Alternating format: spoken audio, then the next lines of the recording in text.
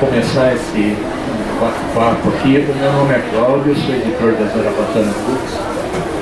E aqui né, está reunindo uh, seis autores com obras publicadas pela Zarabatana no, no final do ano passado. Então, aí começar, assim, cada um falar um pouco sobre o seu, o seu trabalho também quiser falar também como começar a fazer história, história de quadrinhos e contar um pouco da história e, do, e dos trabalhos atuais. Bom, eu sou Marco Oliveira, é, comecei a fazer quadrinho mais ou menos em 2009. É, comecei a publicar tirinhas de humor na, na internet, criei um blog blog Overdose Homeopática. E na verdade eu sempre desenhei, só, só que antes eu não tinha um espaço para publicar. Então, não tinha um jornal, não tinha é, para quem mostrar esse trabalho. Aí quando eu percebi que tinha que a internet é, me dava essa liberdade de expor meus trabalhos, aí eu comecei a fazer o blog de tiras e fiquei, fiquei acho que no final de 2009 publiquei tira durante uns. publico até hoje, hoje com menos frequência. Em 2013 publiquei o primeiro livro de forma independente, que é o Overdose Homeopática, livro de tirinhas. É... E aí o blog foi ganhando fama, foi ficando famoso e consegui é, no ano seguinte publicar o meu segundo livro, que é uma, uma graphic novel, que é Os Cuidados de Rafaela, que foi em parceria com o roteirista Marcelo Saravá. E um projeto que foi financiado pelo PROAC, que é do estado de São Paulo. E esse, esse foi um livro bem. foi um desafio bem grande, porque eu estava acostumado a fazer tiras, que são ideias curtas, desenhos pequenos, então quando surgiu essa oportunidade de eu fazer é, uma história longa, foi complicado. Eu tive que sair de um, de um, estilo de, de quadrinho para o outro. Mas consegui colocar o meu estilo de, quadrinho, que é um estilo mais cartoonizado, para uma graphic novel e ficou um resultado assim bacana. É, o Overdose foi em 2013, Faço das Rafael em 2014. Perdão, Overdose em 2014. 2013, 2014 e 2015, e o último. Esse também foi selecionado pelo PROAC. É, é um livro de quadrinhos mais experimentais. São, tem, tem assim, um certo tipo de humor, mas é um humor bem suave, um humor assim, que não necessita de, de tirar o riso das pessoas. E que brinca bastante com a experimentação gráfica que a linguagem dos quadrinhos proporciona. Então é isso. E e agora estou terminando um, projeto novo que chama Graphic Novel, igual da Zé Rafaela, chama Finório, só que dessa vez vai ser é, roteiro e desenho meu. Essa eu pretendo lançar na Comic Con. Obrigado por vocês terem vindo aí. Sei que é difícil deixar o sábado aí para vir ouvir os outros falando. É, meu nome é Leandro Belite, eu comecei fazendo quadrinhos é, mais ou menos. Assim, sempre fiz alguma, de alguma forma quadrinhos, né? Assim, a gente que trabalha com quadrinhos está sempre fazendo, assim, desde criança. É, né? Então acho que o, a formação, o processo de, de se tornar um autor vem vindo assim, né? Eu acho que tem para todos. O desenho, contar histórias com desenho isso é uma formação contínua, né? Mas eu, sim, eu comecei publicando algumas coisas na internet também, na época dos blogs, né? Não sei se ainda existe isso, blog. É, colocava, fazia as minhas historinhas, tirinhas, assim, mas era tudo muito, muito primário mesmo. Não que não seja até agora, mas, mas era bem mais, né? É, depois é, eu tinha na época uma antologia chamada Front, da Via Letera, Via Letera, não, não sei se vocês lembram desse, era uma antologia só, só de quadrinhos brasileiros. É, publiquei duas histórias lá, foi bem assim, né? Bem, é bem desanimador eu falar isso, mas eu publiquei duas na terceira eu fui é, aprovado e faliu a antologia. Então você fica pensando, será que eu contribuí para a falência da, da antologia, né?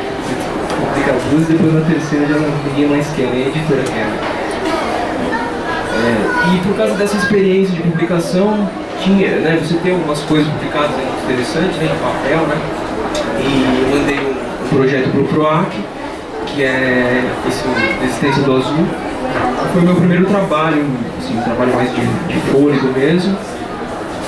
E foi, esse foi em 2012, publicado com o programa de incentivo né, do PROAC. E depois, na sequência, no, dois anos depois, né, eu publiquei no ano passado, o Lupin, que é uma adaptação do, do conto Os Crimes da Morte do Edgar Allan Poe. E é isso. Próximo, acho, acho que consigo esse ano, que chama Tabloid, que é uma história policial também. Eu sou Giovana Viana, obrigada por vocês comparecerem hoje. É, eu já trabalho com quadrinhos há algum tempo, mas eu sempre trabalhei nos bastidores. Eu era, especialmente nos quadrinhos mainstream. Eu sempre trabalhei com agenciamento de artistas no mercado norte-americano, com diagramação e treinamento de material da Panini e da Mitos.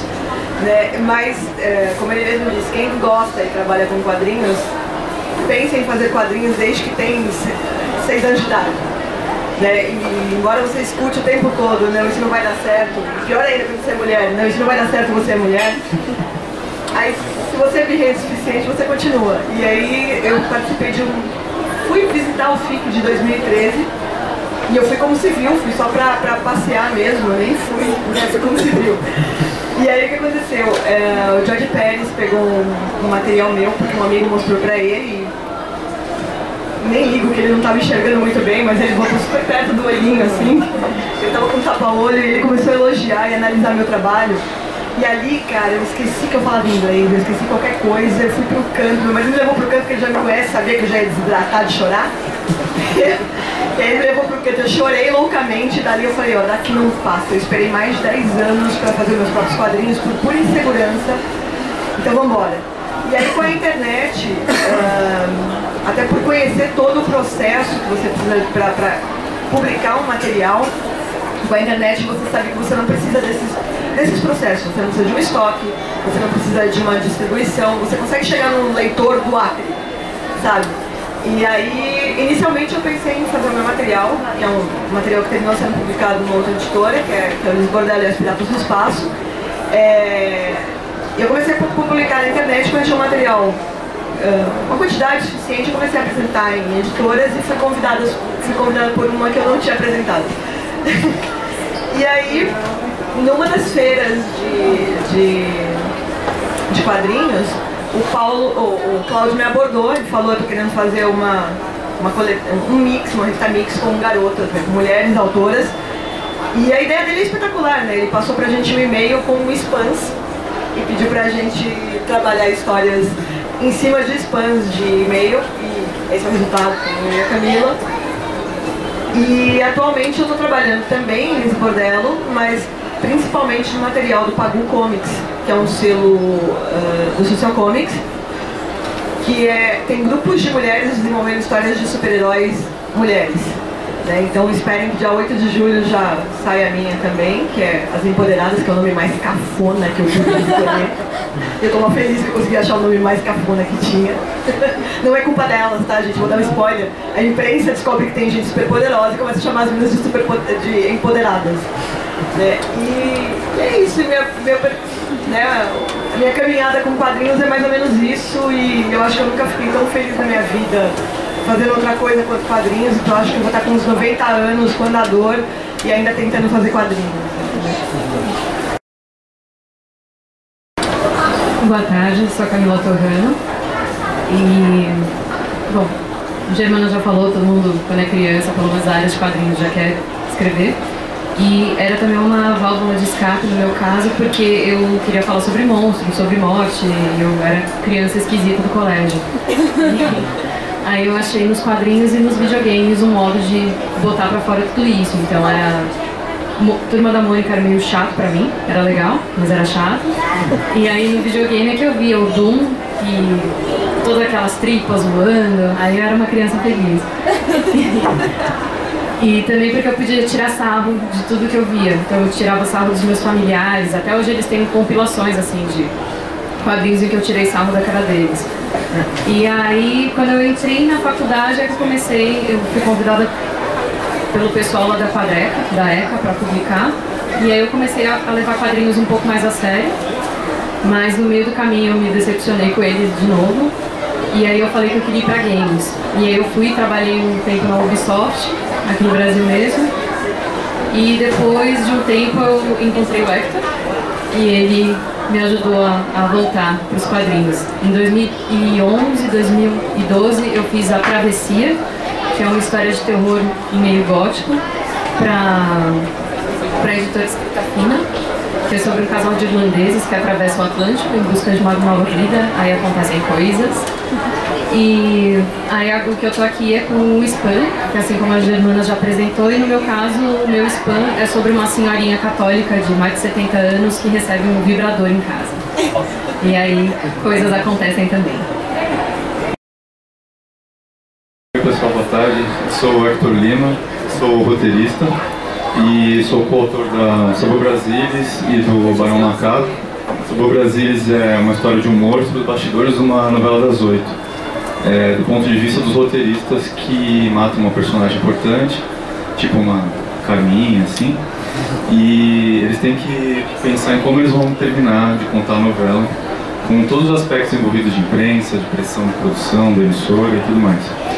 E foi feita com três outros autores. O Baio Macaco é uma história policial é, tradicional, só que tem um, um, uma ambientação brasileira e tem um, um, certo fundo de discussão social, assim, de temas é, relacionados a, a, crime e classes sociais, enfim. É, eu faço quadrinhos há uns 10 anos, mas publicado assim profissionalmente há uns 4. Publicado independente, fiz webcomic também. É, teve um, um webcomic que eu comecei a fazer chamado Major, mas não foi muito para frente, era uma paródia do Capitão América. Inclusive, mais tarde, a gente está respondendo perguntas sobre o romance entre o Capitão América e o Buck, se vocês quiserem discutir. E a gente veio um carro falando isso a viagem inteira. E é, publiquei História de Terror também. E eu faço parte de um grupo é, de amigos, que é um coletivo chamado Fictícia, do qual a Camila faz parte que é um grupo de amigos que se publica e participa de eventos junto e tal. E estou para lançar coisa nova, é, muito em breve, mas que está para ser decidido ainda como. É, mas eu trabalho como redator e, e como roteirista. É, todo mundo tem umas coisas paralelas rolando, né? É, inclusive eu publiquei na Front também. É, não sei se foi os mesmos números que o Leandro, foi o número 9 não lembro agora. É, mas era prosa, era um conto. E. E é isso. Valeu. Meu nome é Aluir, eu trabalho com quadrinhos praticamente desde criança. Né? Com 10 anos de idade comecei trabalhando com Maurício de Souza. acho que um dos pontos altos dentro do estúdio do Maurício foi a aprovação de um projeto meu ele me solicitou para criar o Costa Latina. Eu negociando com ele e apesar de ser contratado dele, apesar de ser contratado dele, eu solicitei o crédito na, na revista. Como ele não queria colocar crédito, então eu resolvi tomar outro caminho. Comecei a trabalhar para a editora Abril. A editora Abril, depois de um determinado período, eu achei que o mercado não, não tinha, não havia uma perspectiva muito boa apenas para o mercado nacional devido à globalização, então comecei a buscar é, contatos no exterior. Né? O resultado disso foi, foram vários trabalhos com a DC Comics primeiro, em seguida o Bruce que é o produtor da Warner, me convidou para trabalhar com eles, para fazer eh, storyboards, e faço storyboards para eles até hoje. Né? Além de quadrinhos, que eu ainda continuo fazendo quadrinhos, parei por um tempo de fazer quadrinhos o exterior, para me dedicar ao meu projeto, que não é só esse livro, né? o projeto ele vai um pouquinho além do livro. Né? Mas eu ainda continuo financiando o, esse projeto com os trabalhos de storyboards que eu faço para os estúdios americanos. Então, entre o material que eu faço para os estúdios americanos, tem muita coisa que vocês veem utilizando praticamente todo dia. Entre eles, Ben 10, é, são os mais conhecidos, Scooby-Doo, é, teve uma série do Tarzan, algumas coisas recentes para a Disney que, ainda estão sendo produzidas para lançamento em breve, né, entre outras coisas. Né, também algum material novo do, busca do Vale Encantado, que seria em português, né, que é o 14, que foi lançado agora recentemente. Então a gente já fez parece que tem novidades por aí também. Mas aí falando sobre isso, acho que o meu livro deve ser um dos poucos que vem com easter eggs, né? Porque eu coloquei aqui na biografia, na, nas informações a respeito de trabalho, coisas que nem foram lançadas. Bom, Perigo, na realidade, a ideia do Perigo é um personagem. É, eu estou é, contando, na realidade, a biografia de um ator que sempre existiu vocês provavelmente devem conhecer. Só que vocês leram muito pouco sobre ele, porque eu sou o primeiro cara que está escrevendo a respeito dessa biografia do período. Então, na realidade, o livro ele conta a respeito de, uh, das origens do personagem, do ator do período. Né? E está em desenvolvimento ainda. Né? O Cláudio foi o primeiro que se habilitou a a publicar essa primeira parte do projeto, mas tem muito mais coisa.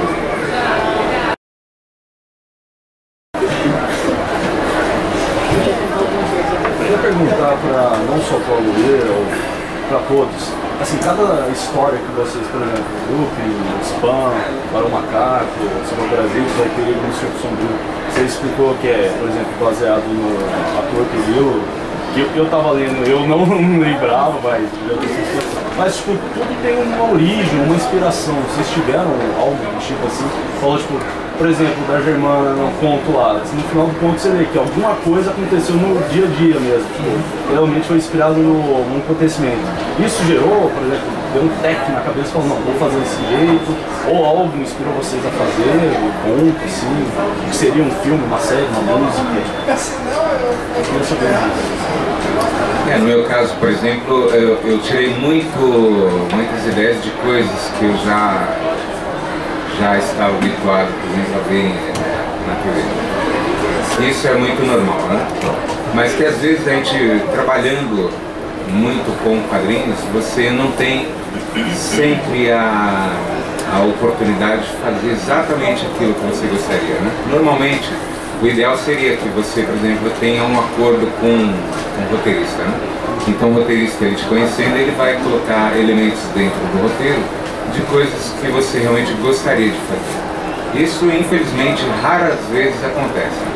Né? Por exemplo, um episódio mais ou menos nesse sentido, que foi mais ou menos o que me levou aqui a abdicar temporariamente de quadrinhos, foi com o Spirit. Eu recebia o, os roteiros do Spirit, mas o, o, o, o conteúdo do, do roteiro não tinha assim tantas coisas que eu achava que o personagem merecia. Né? Então, depois de um determinado período, eu conversei com o editor e eu realmente tive que falar para ele, olha, acho que aqui o espírito merecia muito mais. Então eu parei de fazer quadrinhos é, é, para as editoras grandes e comecei a jogar nesse material coisas que eu realmente gostaria de desenvolver. Vai mais ou menos nesse sentido.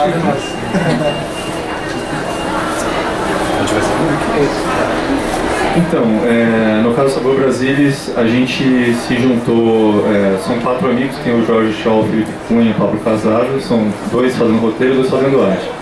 A gente tinha organizado o Paulo Casado é um dos autores de Mariana Belli, que é um gibi muito legal. O... A gente organizado uma coletânea chamada Inkshot. Na verdade, eu organizei, eles me ajudaram a editar. Ela foi publicada digitalmente, só em inglês, pelo selo Monkey Brain, que é do Chris Robertson, que é o cara do iZombie, um dos caras que faz o iZombie. E a gente queria fazer alguma coisa juntos, que deu muito certo a parceria. Então a gente fez de trás para frente a história. A gente não tinha uma ideia. A gente pensou, vamos fazer algo juntos. O quê? Algo brasileiro. O quê? Futebol, carnaval, novela. Aí a gente fez uma história sobre um comitê de criadores, já que a gente estava criando a história em grupo. E cada um tem seu gosto por novelas. O, Pablo, na verdade, dos quatro, era mais noveleiro. Mas a gente pesquisou que cada um lembrava que gostavam mais, foi atrás de coisas. Tem alguns personagens que parecem figuras reais ligadas ao universo de novelas. E... Mas foi isso, assim, essa história nasceu de trás para frente, não partiu de uma ideia específica. Já o Barão Macaco surgiu inicialmente de um assalto que eu sofri a mão armada em Santos, que é minha terra natal. E aí eu passei por aquelas fases, todo mundo passa, né, de raiva e tal, não sei o quê. E depois eu comecei a pensar, não, é... por que que tais pessoas chegaram nesse ponto de fazer uma coisa dessa? É, então, é, fui desenvolvendo a questão do justiceiro clássico de história pulp antiga, só tipo Sombra, que é uma influência forte, mais do que até o próprio Justiceiro da Marvel, e tentar colocar isso no contexto brasileiro e tentar discutir um pouco a questão de moralidade em relação a, a, a quem comete o crime, por que a, a, a morte ou não e tal. E, na verdade, a personagem principal mesmo dessa história é a Renata, que é uma jornalista, está tentando investigar a questão do Barão Macaco e uma briga de gangues de traficantes que estava acontecendo na história. Desculpa. E o Barão Macaco ele é visto como uma aparição, assim, é, as pessoas não têm uma noção do que, que ele é e tal. Então eu queria discutir esses temas, basicamente, nessa, nessa história.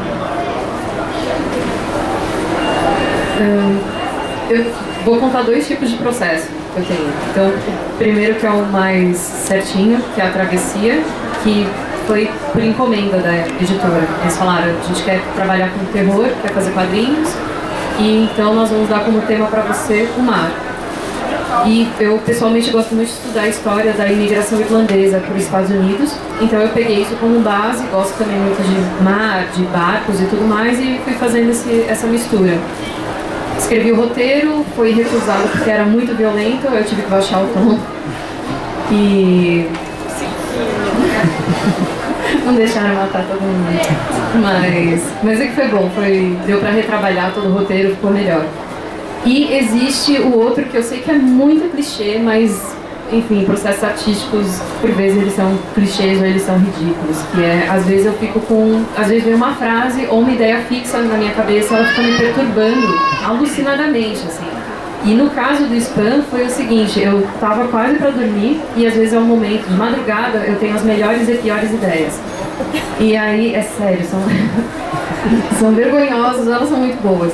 E aí começou a, a, Me veio uma frase só na cabeça, que foi assim. Dona Teresa ameaçou quebrar toda a porcelana do céu e quebrar o, e cortar fora o pinto dos querubins. E, e aí aquilo ficou assim na minha cabeça. E eu não conseguia dormir isso, porque eu comecei a rir, eu falei, mas de onde que veio isso? E aí eu sentei, eu tava muito sonâmbula, aí eu comecei a pensar, putz, eu preciso trabalhar nisso. E fui assim, forçando, sonâmbula, eu só escrevi assim umas coisas bem básicas, essas frases principais, dormi. E aí no dia seguinte eu olhei e falei, bom, a ideia é idiota, mas ela sobreviveu, então vamos tentar trabalhar. E eu escrevi por cima e eu até cheguei a mandar pro Hector o roteiro. Eu falei, pô, eu tive essa ideia eu queria falar sobre isso. E aí o que eu puxei para a Dona Teresa é o seguinte, que é uma coisa que eu gosto de discutir muito, que é a sexualidade e principalmente a sexualidade na terceira idade, que ainda morte e sexo são tabus pra gente. É ridículo, como morte é um tabu, é o negócio mais certeiro que vai ter na vida. Todo mundo vai morrer. E ninguém quer falar sobre isso. E ninguém também quer falar sobre sexo quando mais velhos. Tipo, você continua vivo. Você vai continuar sentindo tesão ou vai pensar em sexo, qualquer coisa assim. Ninguém. Não, é que você envelhece, parece que você fica santo. Não, não vou pensar em piroca, não vou pensar em pepeca. Não, até parece. Mas é, a galera pede também as estribeiras quando tá mais velho.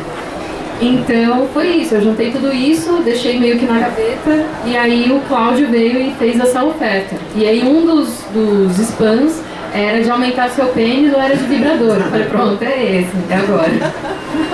Então esses são os dois processos. Às vezes é porque eu encasqueto com alguma coisa ou porque me pedem. Mas normalmente a questão de encasquetar é o que mais acontece. Assim, pô, eu quero falar sobre canibalismo, ou eu quero falar sobre autópsia. Aí eu fico nisso até tentar encaixar de algum jeito que seja aceitável socialmente. No meu caso, é, como você viu, tem um finalzinho, né? Eu, eu tem, tem uma coisa que eu adoro fazer, eu, eu sou super voyeur de cotidiano. Eu vou na padaria, eu fico olhando o que, que o pessoal está falando. Eu vou no cinema, eu fico ouvindo o que as pessoas estão falando. Porque eu acho que é, por mais que eu seja uma super fã de, de super-heróis e tudo mais, é, eu sou muito fã também de quadrinhos como Love Rockets, como é, Tank Girl. Então, quer dizer, e fora quadrinhos, pelo menos no meu caso, não estou dizendo isso que é no caso de todo mundo, mas no meu caso, eu acho que para produzir quadrinhos, se eu só olhar quadrinhos, vai virar uma entropia. Então tem uma hora que eu tenho que ficar olhando outras coisas. Então eu adoro cinema, eu adoro música, então, todas essas coisas me influenciam, viram um caldeirão de ideias e eu uso. Na história do spam, que por sinal é a minha mais comportada, o que é muito difícil de acontecer, né? A minha mais comportada, eu ficava separando, tirando da mão das crianças no fica, falando, não, quantos anos? Tua tá perto? Não pode ver, tem da Camila. Anos você tem? Mas assim, a, a minha ideia é que eu sempre, eu tinha visto um filme uh, do Jim Jarmusch, que ele vai basicamente trabalhando no cotidiano de uma, de uma turma ali. E eu queria muito experimentar isso numa história. E aí quando o Cláudio surgiu com essa ideia do spam, eu falei assim, puta, o que seria a coisa mais inusitada com o spam? Porque eu não quero cair no normal de falar sobre tecnologia. Aí eu pensei, pô, uma mina que pensa que spam, ou que ela bota, bota na cabeça dela que spam é uma maneira dela prever o futuro. É um horóscopo pra ela, entendeu? Então aquele spam chega no e-mail dela ela vai vendo e ela encaixa ali em situações do dia dela para que vire tipo uma previsão, porque que nem horóscopo, né? Que é brincadeira, né, gente? Tem gente que acredita nisso, quem acredita, desculpa. Né? Mas é um troço que você lê que você vai encaixando ali pra coisa resolver. E aí eu fiz a mesma coisa com o espanto. E a metodologia, como a, Camila falou, é, é, tem coisas que são clichê, são bem isso de você acordar de madrugada com uma ideia, e outras são ideias que já estão lá perdidas já estão lá guardadas ou perdidas há muito tempo e que você retoma e uma coisa se alinhava na outra e funciona. E no meu caso é, é um caldeirão de, de, influências mesmo, porque eu não, não conseguiria trabalhar uh, quadrinhos só lendo quadrinhos. É, o meu é uma história policial, né? O Dupan, não sei se vocês conhecem o nome do Dupan, veio do personagem do Alan. Na época que eu estava construindo, assim, pensando em uma, uma, uma nova obra, construir uma, uma, nova narrativa, eu estava muito absorvido pela, pelos autores de literatura policial, né? desde os mais, mais clássicos até contemporâneos, né? como o Henning, o, o Ian Rankin e tal. E eu queria fazer uma coisa assim que fosse que tivesse a, a levada da narrativa policial, né? É, assim como True Detective, vocês viram, é, são coisas que são, tem a, a, a, levada policial, mas que foge um pouco, né? vai, vai para uma outra coisa, tem mais uma, uma carga do cotidiano também. E eu peguei esse, essa coisa porque o, o Dupan, Os Crimes da Morgue, é o primeiro conto policial da, né, conhecido como é, é reconhecido como um marco da literatura policial, né? Que tem a história do jogo, do, do assassino, do detetive e tal. Eu queria pegar uma coisa para exercitar essa, esse, esse, tipo de narrativa precisa. É, mas ao mesmo tempo eu, eu odeio adaptações literárias de quadrinhos. Realmente não, não gosto de nenhuma. Muito. Acho. Sei lá. É, meio oportunista se pegar e de repente depender de um autor, dificilmente dá uma coisa boa, assim, né? É, mesmo o Eisner fazia umas coisas, mas ele, não sei, eu não gosto. E eu queria fazer uma coisa que pegasse isso e desenvolvesse para uma, como se fosse um universo alternativo, né? Então eu peguei dois adolescentes para investigarem crime e tal, e, mas com uma outra levada mais literária também. É isso. Respondi a pergunta? É, o meu processo funciona basicamente. É, meu cérebro funciona de acordo com o que, meu, me propõe a fazer. Por exemplo, quando eu comecei a fazer tiras, é como se eu tivesse ligado uma antena que não estava desligada. Então, uma captação que estava desligada. É, a partir do momento que eu é, me propus a fazer tiras, é, qualquer situação do cotidiano era eu, já me ligava, opa, isso daí dá uma tira. Aí eu desenvolvia, a partir dessa pequena ideia, eu desenvolvia uma tira de humor. E é, não sei se vocês conhecem, mas o humor, as tiras do Overdose Homeopática são um humor assim meio ácido, meio, bastante tira meio. Né, tem bastante cu. é, esse é um tema recorrente porque é, uma, é, é, um, é, um, é um objeto que dá muito o que falar. e, então eu fazia, eu fazia só tiras. E a, a, aqui eu tô quietinho, mas com os meus amigos, quando a gente se junta, só, a gente só fala merda, então sempre tem, sempre tem material. É. eu, tô comportadinho aqui. E, e depois de, de, fazer isso daí, que, é, que eu fazia só tiras de humor, que apareceu o, o, a situação de Rafaela, já é uma coisa totalmente diferente. Então, nesse caso, nesse caso foi o Marcelo Saravá que fez o roteiro. Então, é, apesar da gente ter trabalhado depois o roteiro final, é, o roteiro é do Marcelo Saravá, a criação da história é dele. Então, mas agora eu estou trabalhando numa história minha. E depois que eu fiz essa história, aí eu comecei também a, a perceber esse mundo das graphic novel que minha, que, que minha antena também não captava, essas ideias mais longas. Então não surgia nenhuma ideia de história longa para mim. E depois que, que eu fiz esse de Rafaela, já surgiu uma outra, que vai ser o Finório, é, que surgiu também de uma, uma, uma, ideia pequena, é mais ou menos assim, você vê uma reportagem na TV, você pensa que é, em torno daquilo pode ter uma história. E aí você cria a partir daquele ponto de, de, de partida. Tem uma outra também que é uma, uma, ideia que eu tenho na cabeça de história longa que provavelmente vai ser um projeto futuro, que a história veio de um final, de uma cena. Eu tive uma ideia de uma cena, como é que a, a história terminaria, que seria, eu falei, poxa, isso daí daria um, um bom final de filme. E aí, eu, é, a partir disso eu fui criando, voltando na história, criando é, é, as, as, ideias que poderiam terminar naquilo ali que seria bacana. E aí já vem outros temas. Conforme você vai, se propõe a criar, outros temas vêm, surgindo. Você vai é, ampliando assim, o seu universo acaba saindo uma história. Tanto para ti, histórias pequenas, quanto para histórias longas. Pelo menos para mim é assim que funciona.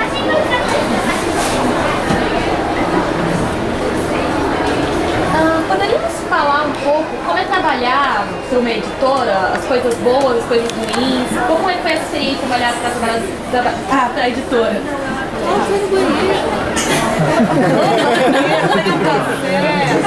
Pode falar mal? Pode. Não sou nessa aqui, né? Bom, eu, é, eu publiquei, eu tenho três livros publicados. Um é independente e dois pela Zarabatana. Então, é, trabalhar com o Cláudio, o Cláudio dá bastante liberdade para os autores, todos os autores sabem disso, né? Que a gente tem essa liberdade, não é um editor chato, mas eu sei que tem editoras que entram em atrito com, com o autor e existe certo atrito, mas no meu caso não tem problema porque eu só publiquei pela Zarabatana. E o Cláudio está aqui, eu não posso falar mal.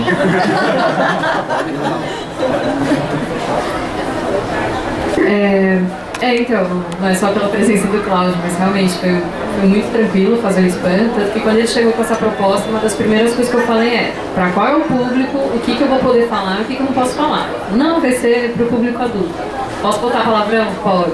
Pode desenhar pinto? Pode. Não. Aí ficou tudo Porque eu já tinha essa ideia engavetada, né? Então não ia, ia ser o problema. E aí com a, a, escrita fina já foi um pouco mais complicado, porque eles, eles insistiam que tinha que ser infanto-juvenil. E eu olhava para eles e falava, vocês, tipo, vocês estão enxergando meu trabalho, só que não tem nada de infantil. Tipo. E eles insistindo, até que de algum modo, acho que de tanto minha teimosia, que a Germana também já conhece, a gente tem que ser teimosa às vezes, quando acredita mesmo, é, conseguir convencê-los de que, pô, pelo menos subissem pro juvenil, para ter nem que seja um pouquinho de sangue, porque senão pelo menos, não, comigo ia ser tipo, não, não vai dar certo. Eu vou querer fazer um Mickey trucidado, mas eu não vou querer desenhar um bagulho fofinho. Não é por chatice, mas não é, não é parte da minha linguagem. Isso também se aprende, a, a respeitar a sua linguagem. Porque às vezes tem editora que quer muito que você vá para um outro canto que não é o que você quer.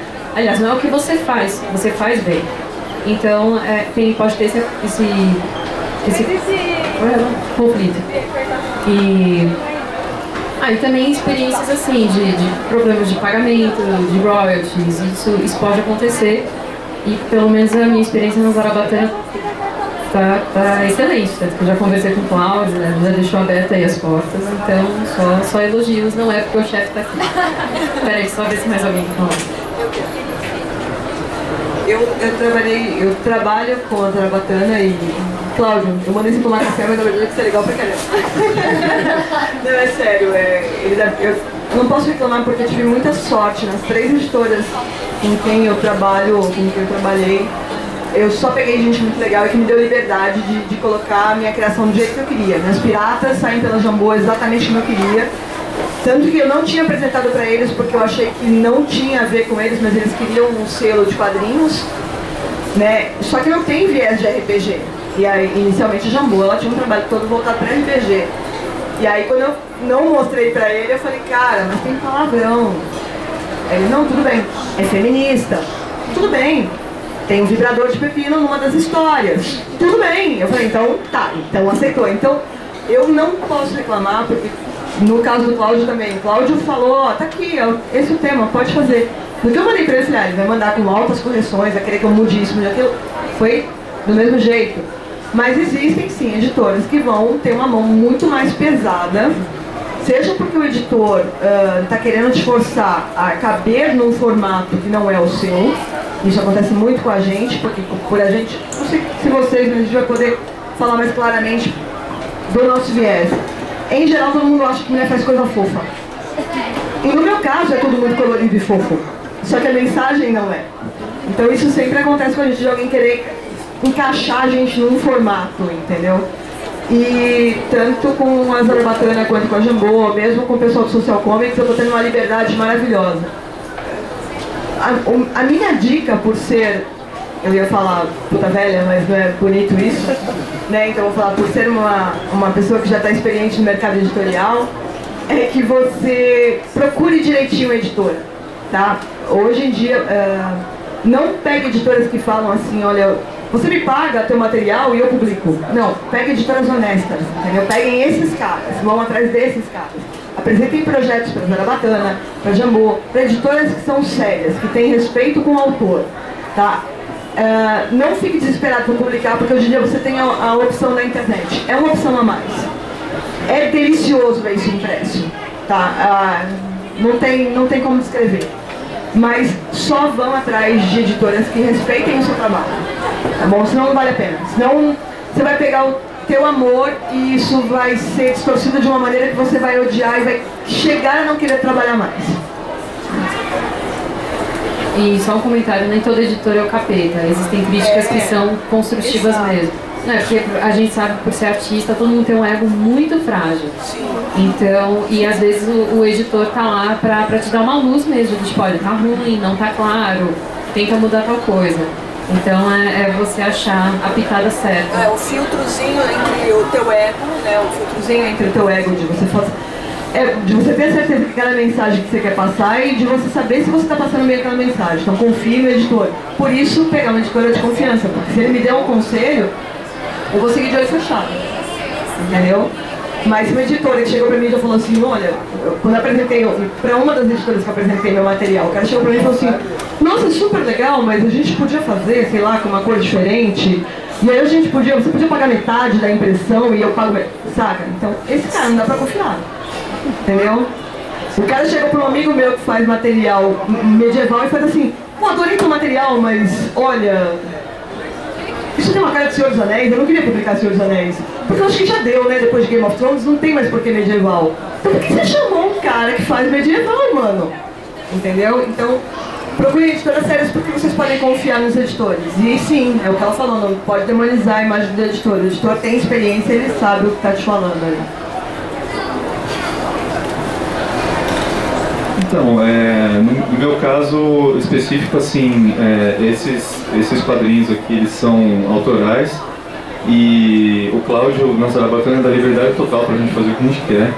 No máximo dos máximos, ele dá uma, um, uma dica sobre revisão, sobre clareza, sobre coisas técnicas, assim, do acabamento final da coisa mas nunca é, interfere. Assim. Existem editoras que mesmo no autoral, elas querem mexer alguma coisa, como a Germana falou. É, mas, por exemplo, eu participei do da é, MSP 950, que foi o terceiro álbum de novos autores antes de começar a gráfica com MSP. E eu fiz com o Jorge, da Sago Brasilis, uma história da Turma da Mônica. E eu refiz o roteiro umas duas ou três vezes, porque tinham alterações. Por mais que fossem autorais, é, é, é autoral, né, todo mundo estava assinando ali e tal, esse era o objetivo da, da, antologia, ainda são personagens do Maurício. Então ele queria certas coisas que, é, por exemplo, eu tinha uma fala do Cebolinha que era que ele falava blogger. Aí ele falou assim, não, é, mesmo no, na, nessa MSP autoral, a gente não quer certas coisas porque assim, Maurício é cobrado por educadores que acham que não pode ter palavrão, eles acham que se Cebolinha falar droga, pode relacionar a drogas, substâncias. Então, você troca por uma sugestão, pindarolas. Aí você poderia falou pindalolas. Ficou tão mais porno. Pois é. é mas enfim, é, mas até aí, nesse caso, os personagens não são meus. Pola, né? Os personagens não são meus. É viu Cebolinha do Twitter, né?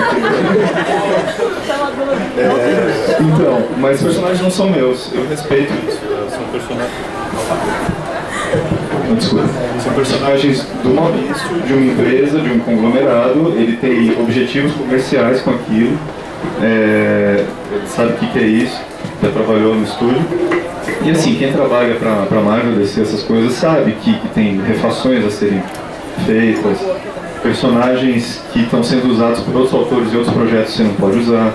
Então faz parte. É...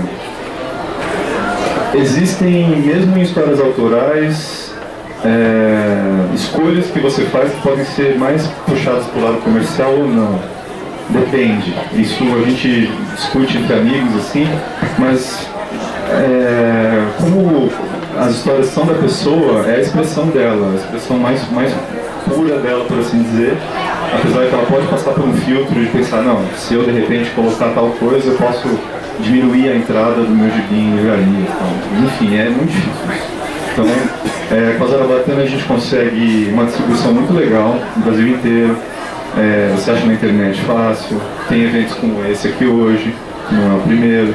E então assim, muito legal trabalhar com, com editora também, fazendo seu próprio trabalho e editoras que permitem fazer o que você quiser. Mas era bacana. É, no meu caso eu sempre tive a sorte de trabalhar com, com editores com quem eu tive bom relacionamento é, e óbvio varia muito o relacionamento que você tem um relacionamento profissional de editor para editor. É, por exemplo trabalhando com o Maurício normalmente ele te passa o material mas aí falando que a experiência inclusive é um pouco diferente. Eu posso dizer que eu tive experiência nos dois modos tanto trabalhando com trabalho de autor, como também trabalhando direto com propriedades de outros é, autores, né? como por exemplo a Turma da Mônica, né? o Maurício. Normalmente ele, você pega o material e quando você trabalha com, com quadrinhos mais mainstream, a, a ideia basicamente é você entregar o material no prazo e você tem que ser tem que ter um nível técnico e artístico para cumprir com, com a demanda. Né? Então, normal, normalmente falando a respeito de, do trabalho com o editor, você tem um bom relacionamento com o editor se você entregar no prazo e todo mês, né?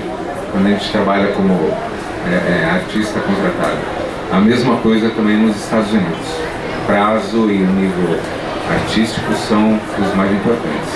Se você sair desse esquema, você furar prazo ou é, ficar devendo alguma coisa em termos de criatividade, então já é uma coisa que, que faz o editor reavaliar se você volta a trabalhar com quadrinhos ou não. O storyboard também é a mesma coisa.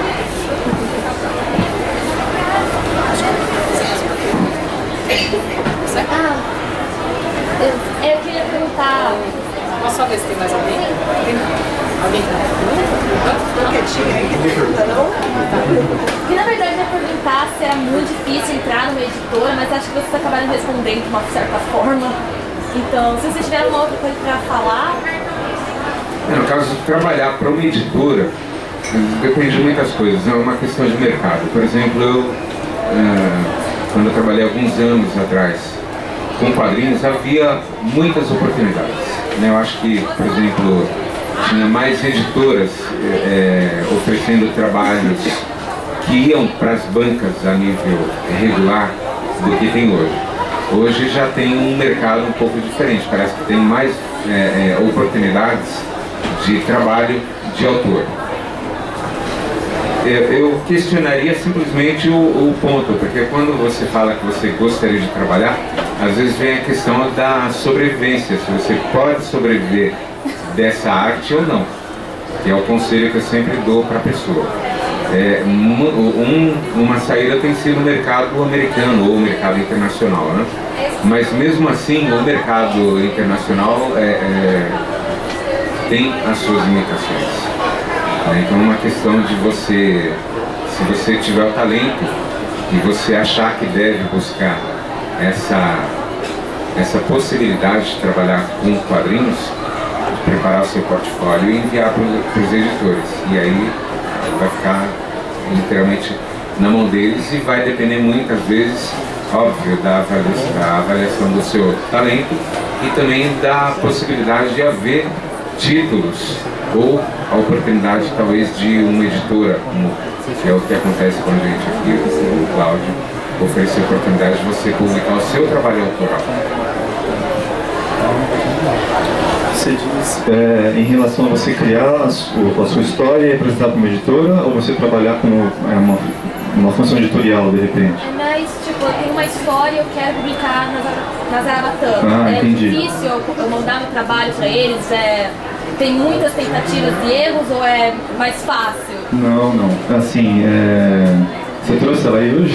Pode mostrar pro Cláudio agora. Na verdade, eu tenho um trabalho publicado, mas é, coisa, é uma coisa pequena. Mas eu quero dizer, eu tenho eu escrevo um roteiro de, sei lá, de umas 30 e poucas páginas. Eu quero publicar numa editora.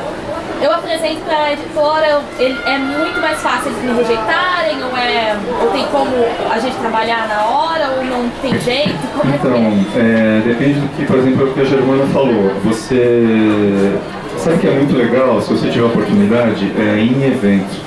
Porque, lógico, imagino que você leia bastante, você fuça o que as editoras publicam, para você ver qual, quais editoras se encaixariam no tipo de história que você está fazendo. Porque isso é, é mais importante que qualquer coisa, porque o filtro do que vai ser publicado é o editor e ele sabe o que ele quer e o que funciona na editora dele, em termos de estilo, de gênero da história, é, de extensão da história também, porque dependendo da duração de páginas, pode render uma revista, pode render uma, um álbum, uma graphic novel.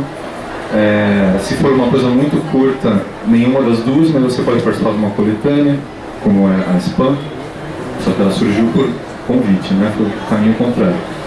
Mas é, o negócio é produzir bastante sempre para desenvolver a capacidade e, e apresentando e metendo as caras assim, sabe? Por isso que eu, eu reforço a questão do evento, porque os eventos, seja FIC, Comic Con Experience, eventos regionais, é, qualquer um que você puder ir, é legal para você conhecer gente, trocar ideia e ir apresentando, porque você pode fazer parcerias com outros autores. Eu falo para o pessoal que vale a pena em evento, é, de repente até exagerando um pouco, mas como cosplayer, desde que você esteja com o seu portfólio ali para mostrar, entendeu? É, possibilidades são infinitas. Em termos é, de mercado, está mais fácil porque a comunicação está muito melhor que a internet, mas ao mesmo tempo está muito difícil, que é muito mais gente fazendo. Então a concorrência, entre aspas, concorrência é maior, mas tem espaço para todo mundo. É questão de como está o trabalho. Basicamente isso. Como artista, eu acho que uma das partes mais importantes é você mostrar mais do que chegar na pessoa e tudo mais, é você ter um portfólio onde mostre o seu trabalho, algo que seja fácil acesso e que seja bem claro que você procura e tudo mais, porque é, eu trabalho com games e por vezes que a gente tem que contratar artistas é um saco, porque a galera não faz um portfólio onde mostra as habilidades, não deixa e-mail para contato, parecem coisas bobas, mas o que a gente viu de portfólios legais, que não tinha um e-mail para contato, você fica olhando e falando, bom, não sei se a pessoa está procurando emprego, se não está, se ela quer que chegue de algum jeito, se ela está na montanha, onde é que ela está. E, e também pelo seguinte, a gente chega muito nessa de, pô, apresentar para o editor, isso é legal. Mas também é bom quando você vai apresentar para ele, você vai deixar, sei lá, o cartão ou o seu contato. Quando ele entrar na internet, ele vai ver que você produz com uma, com uma certa frequência. Claro, ainda tem uma questão de que qualidade é melhor do que quantidade, mas se ele perceber que você é engajado nisso, se, se ele perceber que você existe, ele tem como acessar seu trabalho e avaliar, então vamos dizer, você pode apresentar um roteiro muito bom, mas sei lá, ele percebe que você não, não tem muita agenda, você não produz com uma certa periodicidade, enfim, tem tudo isso que ajuda também o trabalho deles e ajuda você a se destacar entre a galera. Então, é, é do tipo, não adianta entregar alguma coisa minha para o editor da Marvel e aí o cara vai entrar no meu site, pô, tem, sei lá, três desenhos. Como é que ele vai confiar? Ele pode achar muito bom, mas ele vai olhar e vai falar, não sei quanto é que ela faz ou quanto ela não faz. Então, e, e essa questão de você ir em eventos, participar e tudo mais. Então, acho que o mais importante é você se mostrar proativo dentro do que você trabalha, não uma coisa que você está fazendo eventualmente. Porque no eventualmente o cara vai ter que apostar muito alto a ficha em você que você é um gênio. E a gente sabe que isso não é por nada, mas é muito difícil de acontecer.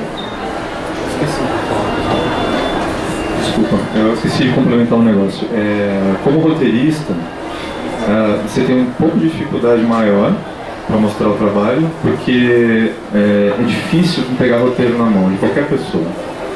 E então assim, o ideal é você tentar fazer parceria com desenhistas legais, para eles desenharem que seja o começo da tua história entendeu? Para dar uma ideia e, e saltar os olhos ali para a pessoa querer se interessar em ler a história completa. É, então, assim, existe a possibilidade sim de você mostrar roteiro para projetos, principalmente coletâneas, é, mas o ideal é você ir atrás de desenhistas. Sempre tentar achar os melhores desenhistas que você puder dentro da tua realidade, do teu momento ali. Entendeu? já deu mais ou menos uma ideia do que bem completo, cada um dos três já deu mais ou menos uma ideia. E com a internet tem essa facilidade. Não existe. Parece meio paradoxal, mas não tem coisa mais punk do que a internet no sentido de você pode fazer. Entendeu? Então, todo mundo pode fazer quadrinhos e isso é muito legal. Mas quem vai separar, o que vai separar quem faz e quem não faz é exatamente isso, fazer. Que é o que ela falou é você achar uma parceira ou um parceiro que, que seja seu desejo, que você confie, dar um roteiro seu, que vá sair um resultado legal. Posta teu material na internet. Não tenha medo, ah, não, eu vou postar a minha ideia, vão copiar. Se você só tem uma ideia, você não está na área certa. Tá? E cada história, mesmo que seja em cima da mesma ideia, vai ser completamente diferente, porque cada pessoa tem uma maneira de contar. Né? Então, espalha teu material na internet, começa a fazer barulho, vai em evento como o Hector falou, conheça o mercado, conheça os autores, veja o que as pessoas estão fazendo, porque às vezes chega um pessoal e fala, ah, eu tô com uma ideia super legal que é de uma, sei lá, ele é uma qualquer coisa que foi legal, sei lá, em 99, entendeu? E que agora já não vai funcionar, vai parecer piada de tio pavê, sabe? Então ele está completamente indo na contramão, não do jeito certo. Não nadando contra a corrente, mas indo na contramão mesmo, sendo sei lá, tá desenhando super-heroína com as pernas abertas, mostrando uma pose de frango assado. Saca? Meu, o mercado não vai mais pegar isso, porque não vai ser mais aceito. Isso tá velho, isso não funciona. Né? Não, é errado fazer porn, não é legal. Então apresenta isso pra porn, não pra super-herói. Entendeu? Então é, é adequar, é conhecer o mercado para que você possa adequar tanto o que você está apresentando para as pessoas, né, quanto o que, você, o que você quer trabalhar. Como ele disse, você vai ter uma linha editorial Caso você queira trabalhar numa editora como contratada, num produto que é licenciado, que não tenha dúvida, isso é uma licença, isso é uma licença, e a gente tem que seguir regras para trabalhar com isso, no autoral é o que ele falou. Você tem que conhecer o mercado, tem que conhecer editoras, então frequenta, visita, seja vista pelas pessoas. Parece que seja vista, mas seja vista pelas pessoas, especialmente por ser mulher, seja vista. Tá? Isso é bem importante caras parecem também, mas as meninas têm aparecendo Bom, eles já falaram tantas coisas legais que vou tentar ser o alívio cômico. Então. Não, não vou tentar. Bom, vamos lá. É, eu vi a sua pergunta, achei interessante porque você falou assim, é, como que a gente vai fazer para publicar como editora, né? E me deu uma ideia meio assim de que a editora vai te adotar de repente você vai virar tipo um funcionário da editora publicando e tal. E meio que, sim, a publicação não é um, não é um fim, é um começo. Entende? A publicação, muita gente, assim, eu mesmo tinha essa ideia antes de publicar, que eu pensei, ah, eu vou começar a publicar, puta, vai ser foda, minha vida vai mudar completamente, eu vou largar meu emprego, graças a Deus, vou, vou poder ficar recluso, só vou mandar coisas pra mim, não vou precisar mais sair de casa, só vou ficar desenhando. Na verdade, é uma, sabe, vai te dando, na verdade, outras formas de você se. Né, eu tô aqui hoje, né, por, por ameaça do Cláudio. É, e, e, sabe, na verdade ele te gera mais formas de você né, é, desenvolver o seu trabalho publicação, ela não é nunca um fim. É, então, assim, por exemplo, e assim, você publicar e você trabalhar com uma coisa que é arte, né? Que, né vamos, colocar essa, essa palavra arte, é, porque é muito subjetivo, né? A gente não sabe quanto é arte ou, ou não. Mas você trabalhar assim não é na verdade igual eu fazer essa garrafinha. Né? O cara que faz essa garrafa, ele tem que fazer essa garrafa, ele vai mexer na garrafa para ser a arte da garrafa. Entende? Vai ser demitido, né? Eu, eu trabalho com com folhetos imobiliários, com mercado imobiliário, publicidade para mercado imobiliário, tá? Quem quiser depois me consolar, me dar um abraço, tudo bem. Porque eu cheguei no FIC, né? Eu fui no FIC ano passado, eu, eu conversei com o cara, o cara falou assim, o que, que você trabalha? O que, que você trabalha, Medite? Pô, o que, que você trabalha? Eu falei, pô, eu trabalho com mercado imobiliário. O cara falou, nossa, deve ser triste isso.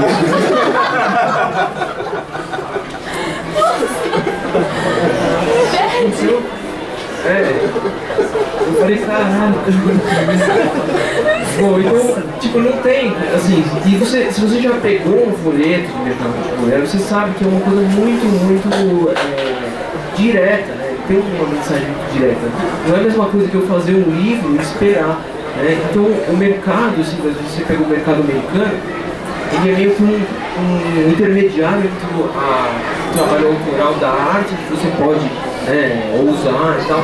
E esse, esse mercado imobiliário que eu estou te falando, essa publicidade, porque ele tem uma função ali, né? E a gente não tem isso aqui no, Brasil, né? Eu gostaria até estar conversando com o Hector e com a, com a Camila, o Germano, é, sobre o, o, mercado, né? A gente está conversando sobre o mercado e acho que tem que ter isso, né? Essa, essa coisa mais. É, alguns artistas que talvez é, não funcionem tanto por, por, si só, né? Ah, eu tenho uma ideia. Às vezes o cara não tem uma ideia mesmo, mas ele é um bom contador de histórias narrativas, né? Não, um cara que de repente trabalha bem com. Eu acho que esse profissional deve ser aproveitado dessa maneira. De repente, eu acho que uma criação de uma indústria, para meio que fazer um contraponto ao trabalho autoral também, né? É, e alavancar o dinheiro, né? Pegar o dinheiro das pessoas, né? Aqui pro Brasil. Ai.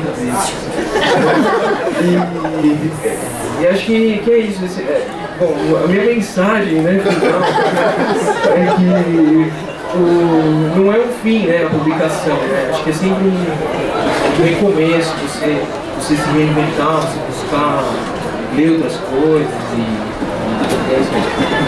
Boa sorte. Bom, é, como ele falou, é coisa triste mesmo. Então, se você tem como objetivo ficar rica, não faça quadrinhos. Você não vai ganhar dinheiro. Então, é, sobre a questão assim de começar, eu acho que o- a- eu, eu, eu acho que a melhor opção é você, você como roteirista, você arrumar um desenhista que esteja é, com o mesmo pique que você, né? E, e você me- meter a cara, é, buscar um catarse, é, porque é, como editora, eu acredito que eles recebam muitas propostas, então é, eu acho que como primeiro trabalho seu,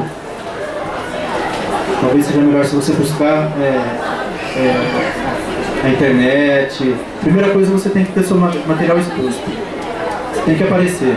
Você tem que ter um- uma página, você tem que ter algum lugar para começar a ampliar a, a- a gama de pessoas que, que, que têm acesso ao seu trabalho.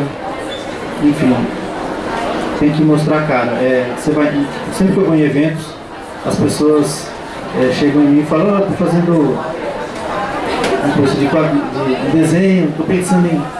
pensando em publicar e mundo tem esse medo. É, todo mundo tem esse medo de começar.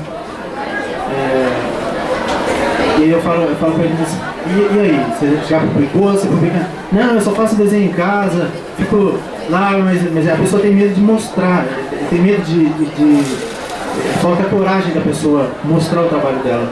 Às vezes medo de crítica, não sei o que, que acontece. Então eu acho que você tem que perder o medo de achar que de repente o seu material vai sofrer crítica, ou alguém vai chegar em você e falar, "Ó, seu material é uma merda e tal.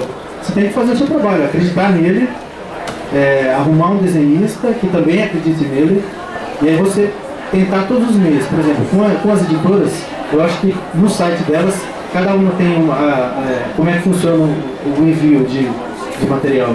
Então, tem essa opção, eu é, proponho que você busque é, o Catarse e fazer bastante amizade no meio dos quadrinhos para você conseguir, enfim, começar, porque depois que começar fica um pouco mais fácil. Ou, ou você tem que aparecer demais, ou você tem que desaparecer. Você fica uma de quadrinista misteriosa. né? Também é, funcionou no, no meu primeiro, que não tinha nada, não tinha Facebook, não tinha porra nenhuma, todo mundo ficou meio curioso, também é uma dica. Então, Uma máscara do V. é, faz uma coisa meio misteriosa, assim, você não sai e tal. Faz a, faz a misteriosa. Vou comprar uma máscara. Vou perguntar se também uma dúvida que eu tenho, que até desculpa frequentemente do pessoal de classe.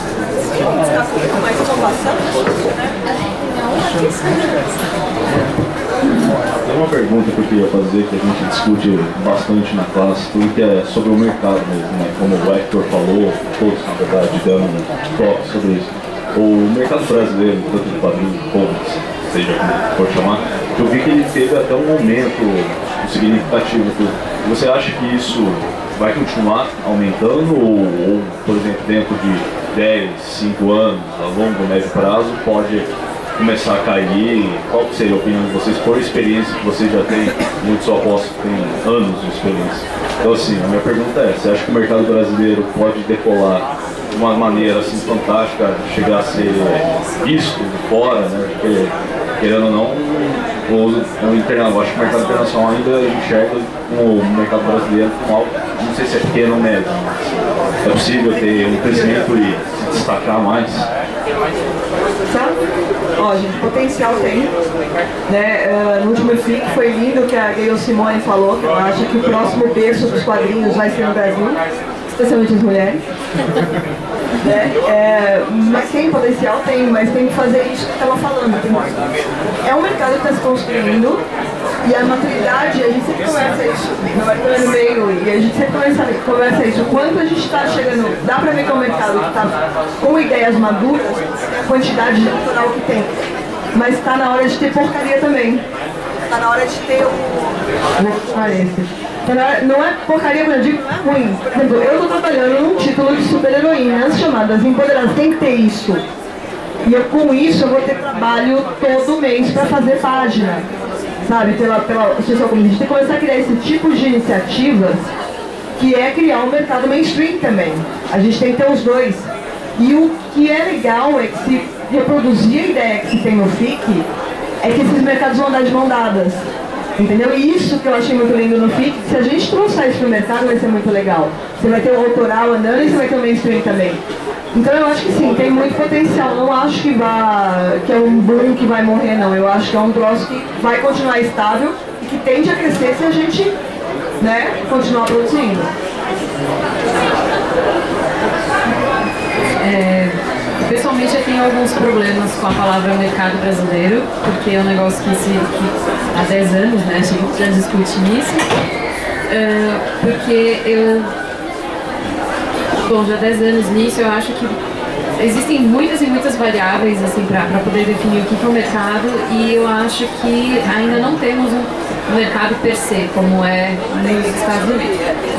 É, então, mas é que aí também tem uma questão que não é só dos autores, é uma questão de hábitos de consumo do brasileiro. Aí são coisas que vão além da nossa, é, do nosso controle, da nossa vontade. Então, acredito que dado o atual cenário econômico, tudo que se vem acontecendo, nós temos acesso muito maior a consumir coisas que nos anos 90 a gente não consumia, porque eram carésimas ou era muito difícil importar tudo mais. Então, existe a, esperança de que realmente, como a Germana falou, vai crescer é, a, a o próprio público vai, vai ser maior. Então, mas eu também sou um pouco pessimista. Mas não estou falando assim que não, não vai crescer de jeito nenhum. É que eu acho que é um negócio muito a longo prazo, o qual eu não sei nem se eu é, vou. vou é muito a longo prazo, eu não sei nem se vamos dizer, eu vou participar disso, enfim. É, eu sou pessimista até no futuro da Terra. Não, essa porra vai explodir em 20 anos. Mas, é, fora isso, não é para desanimar, é simplesmente para tipo, ter a maturidade de olhar que o mercado norte-americano e o mercado brasileiro, eles, eles têm pouquíssimas coisas em comum, porque nós somos sociedades diferentes e uma sociedade de consumo diferente.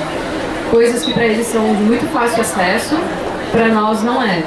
Então, por exemplo, agora que, que né, tá chegando o social comics e tudo mais, mas não é todo brasileiro que tem, leitura, tem hábito de leitura em tablet. É uma parcela muito pequena. Então a gente ainda tem que basear o mercado dentro de uma parcela naniquíssima, assim. Então, acredito que é possível sim melhorar. É, o, que, o que eu acho que também aconteceu agora é um boom de interesse.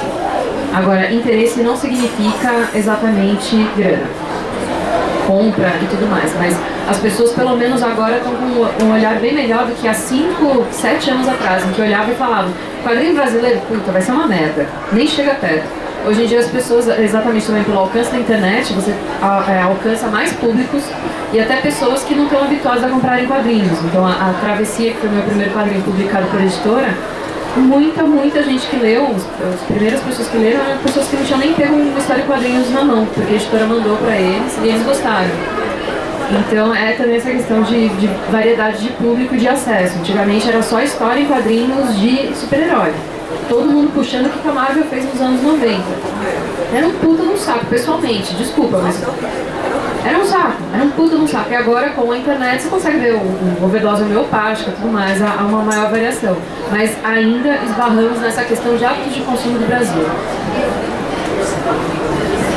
Você falou que estava discutindo na classe, é um grupo de estudos? Na verdade, o que eu já tinha até falado com o Marco é que eu faço parte de uma. Eu estudo a aula de ilustração com o Mário na Progora. Então, tipo, Que não conheceu. Ele é também. Então, tipo, a gente muitas vezes com o Mário também publica pelas Abatana, teve o título Morfine e também, eu só não lembro, mas aí, se não me engano, é quando a noite fecha os olhos também, foram dois títulos que foram pelas Abatana. E a gente discute bastante porque, pô, é uma pessoa que, assim como vocês, publicou autoralmente e a gente pode ter um contato maior, uma vez por semana, vamos lá e tal. E que eu falei, aproveitar a oportunidade de ter mais opiniões além só do Mário. Então, né, acho que é viável e é legal até. Legal. Então, é, o que a Camila falou de contexto socioeconômico tem muito a ver discussões que a gente tem quase que diariamente, assim, a respeito disso. Porque, assim, é, eu passei anos, anos, anos, anos pensando comigo, discutindo com amigos e pesquisando qual era o problema dos quadrinhos brasileiros.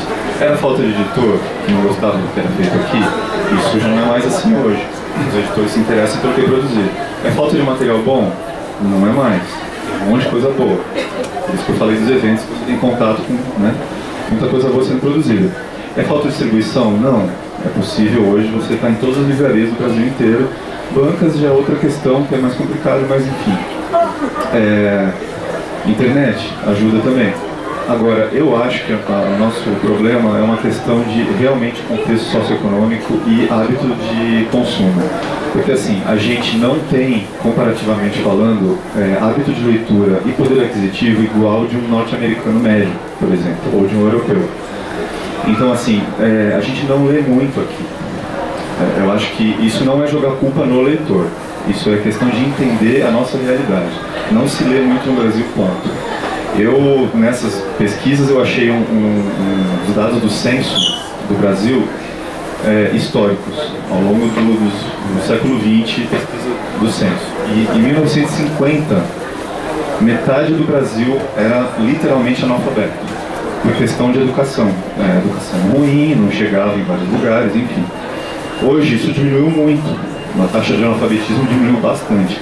Porém, a gente tem analfabetismo funcional, e, e, e, principalmente a questão de poder aquisitivo de hábitos. O, o, o, o, brasileiro médio se diverte vendo televisão, vendo futebol, a gente não está acostumado a ler muito. Isso não é um julgamento de classe, porque não é uma coisa assim, ah não, só rico gosta de ler. É uma questão assim, as pessoas se divertem como? Entendeu? Então assim, leitura não faz parte dos nossos hábitos, é uma questão cultural. Então eu acho que não temos um mercado hoje poucos autores, é, um mercado maduro, tá? A gente tem um mercado em estado infantil indo para adolescência. Não infantil de histórias infantis, mas infantil de, de, de, volume de produção e de venda, sabe? E a gente pode chegar numa, numa, num estágio adulto desse mercado daqui a alguns anos, não sei se são poucos anos ou décadas, mas pode se chegar, se caminhar junto com toda uma questão é, é, socioeconômica do Brasil como um todo. É, eu acredito que o mercado de entretenimento está movimentando dinheiro, como a gente vê a Comic Con cheia, por exemplo, por mais caro que seja aí. Mas é, ainda a gente não está ainda no momento de sobreviver de quadrinhos. Então, por exemplo, todos os meus amigos que vivem exclusivamente de, de gibi, de quadrinhos, trabalham no mercado europeu ou norte-americano. Então, por exemplo, o o Jorge, aqui de Brasil, está publicando pela Dark Horse. Ele participou daquele filme que passou agora no cinema, e fez direção de arte da animação. O Felipe está é, produzindo para Dynamite, fazendo o Mandrake, Flash Gordon. O Milton Sobreiro, que é um cara de 84 anos, do Barão Macaco, ele publica na Heavy Metal, na Dark Horse. Esses caras publicam pouco no Brasil. Tanto que é engraçado nos eventos, nem tantas pessoas conhecem o trabalho dele, porque não saiu tudo aqui, saiu mais em inglês. Então, assim, é, e se você for ver, a galera dos estúdios, daqui era Escuro, Glass House, são os brasileiros que vivem de quadrinhos exclusivamente. Então, assim, todo quadrinista brasileiro, quase todo, tem outra função. Eu sou redator, a Camila trabalha com games, a Germana Eletrista, Panini, por aí vai. Entendeu? O, o... Você faz na hora de madrugada. Exato, é. exato. Tem funcionários públicos, tem jornalistas, tem diretores de arte, tem de tudo. Então, assim, é, para se viver exclusivamente de quadrinhos, é, ainda no Brasil, infelizmente, não é possível. Mas, assim, eu tenho esperanças. A gente está aqui numa, num shopping center, numa livraria, vocês estão aqui, as pessoas estão aqui se interessando, é, fuçando livros, interessados por leitura, entendeu? Num sábado à tarde de sol. Então, assim, eu acho que o futuro é promissor. É, mas não é para agora, mas vai rolar. Eu já tive é, essa oportunidade de, de conversar com profissionais da área na época em que se produziam quadrinhos. E cheguei a dar sugestões a respeito de como aproveitar as oportunidades que haviam na época. Né? Basicamente, eu, a minha visão de mercado de quadrinhos por volta dos anos 90, quando ocorreu o advento da, da globalização, era o seguinte: a globalização existe, você não pode ignorar a globalização, então você tem que se adaptar ao contexto da globalização. Ou seja, todo material que você publicar, que você criar, é, obrigatoriamente tem que ter o potencial de ser vendido no exterior. Então esse é o primeiro ponto. Uh, o segundo ponto é você saber aproveitar a oportunidade. Né? Por exemplo, a editora Abril. No período em que eu trabalhei para a editora Abril, do começo dos anos 90 até 1997. Naquela época a gente ouvia muito é, se falar quer dizer, pelo menos quem, quem, quem estava tentando ficar em dia com o noticiário internacional. Bill Clinton falava a respeito de globalização, todo mundo falava a respeito da globalização. Quem não entrasse na globalização iria ficar à margem do comércio internacional. Então, nesse contexto, eu conversei com, com redatores, editores na editora Abril e falei para eles, gente, vocês estão perdendo tempo aqui produzindo material do Zé Carioca. Enquanto isso, no exterior, na Europa, não, não, nos Estados Unidos não havia produção de material Disney, né? principalmente na Europa. Então os estúdios Disney na época eles produziam material de Pato Donald, de Patinhas e eles vendiam para todos os outros estúdios no exterior. Inclusive o Brasil era um dos compradores. Eu lembro que eu, eu cheguei a a sugerir que eles fizessem isso, que produzissem é, material que tivesse qualidade internacional para também fazer parte desse tipo de comércio. Então a editora Abril, por exemplo, tinha um grande potencial de produzir é, é, material com esse tipo de qualidade, mas que não fosse apenas regional. Material regional vale a pena quando você é, é aproveita um tema que seja universal né? Os filmes estão aí para provar isso. Por exemplo, a Rede Globo faz isso muito bem, é, é, colocando temas universais nas novelas, nas produções deles, já com a intenção de ver, vender o material para o mercado internacional. Então eu posso dizer, concluindo isso, né, que só vai haver um mercado nacional a partir do momento em que, em que houver a possibilidade é, é, talvez financeira ou da parte de algum editor aqui no Brasil, que saiba aproveitar é, é, dessas oportunidades da globalização e começar a fazer isso. Eu sei que, por exemplo, existem os estudos aqui que contratam os artistas nacionais. Então isso já é um, é um bom começo. Então, por exemplo, no mercado americano, os artistas brasileiros, eles são muito bem recebidos, né, graças a esse, esse tipo de iniciativa. Mas fora disso, se a gente for avaliar apenas no, no, a nível nacional, eu poderia dizer o seguinte, né, muitos anos de tentativa, de tentando incentivar o pessoal a fazer alguma coisa a mais para melhorar no mercado nacional, eu diria o seguinte, que se eu fosse depender apenas disso, eu não estava com. eu ia estar pobre, né? Então tem muito, muitas questões aí que teriam que ser avaliadas. Né? Fora as oportunidades de trabalho também, que às vezes acontece o seguinte, é, não existe uma tabela de preço para a produção de arte. Às vezes um artista muito bom ele, é, é, ele deixa de produzir porque alguém passa na frente com um valor muito abaixo. Né? Então, já, é, infelizmente, poder, é, além da, da questão de mercado, também existe uma divisão é, entre os próprios artistas. É, né? A realidade é, é hoje é assim.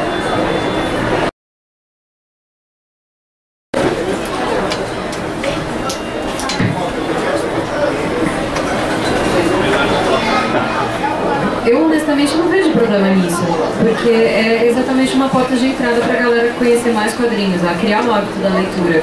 A gente até comentou, estava vindo para cá, estava conversando sobre isso, e eu não vejo problema mesmo, porque é, é como se eu falasse, sei lá, olhando para os videogames, ah, eu entrei através de um jogo que era super violento e tudo mais. Isso quer dizer que eu nunca mais vou gostar de jogos fofinhos ou coisas bonitas? Não.